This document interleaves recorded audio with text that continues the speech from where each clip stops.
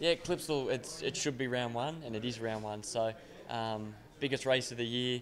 Um, body absolutely feels every bit of jolt and pain that you feel around that joint, and um, and it earns the right of being the first race. I think it's the biggest of the year, and, it, and it's got merit to start there. But um, we're excited, we're ready to go.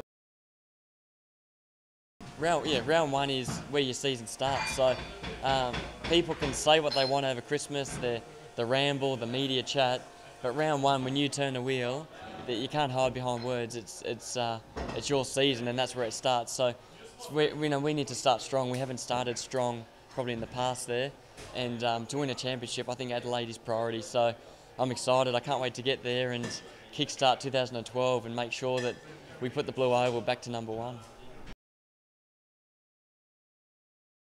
Um, you know, it's great to be here now, first day at school, and uh, know everyone's faces, feel very comfortable in the environment, and very confident in, uh, you know, in what we've got and uh, all the hard work we've done. And everyone's carrying that aura at the moment. You can see everyone's got a spring in their step.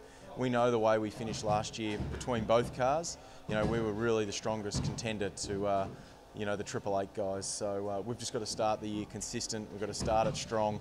Um, seventh in the championship last year doesn't look very good for me, but uh, I know form-wise it was a lot better. You know, we had two poles at Homebush. I didn't score any points, um, but you know, if we put it all together this year, uh, I've got no doubt we're a real, uh, real shot this year.